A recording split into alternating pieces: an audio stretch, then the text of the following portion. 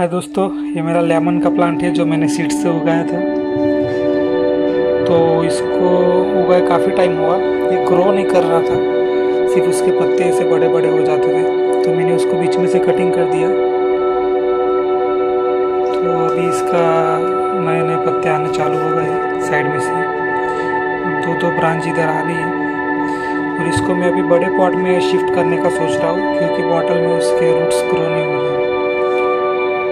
इसके अभी नए वीडियो के साथ मैं आपको बताऊँगा कि पॉट में उसका ग्रो कैसा है। जैसे फ्लेमन प्लांट का आपको डिटेल दिखाना था कि बॉटल में भी आप उसका ग्रो कर सकते हैं। लेकिन उसको बहुत टाइम लगता है सक्सेस होने में। मैं इतना टाइम निकालना अच्छा नहीं उससे तो उसको पॉट में लगा देता मैं अभी उसको। आपको उसका वीडियो भी दिखा था।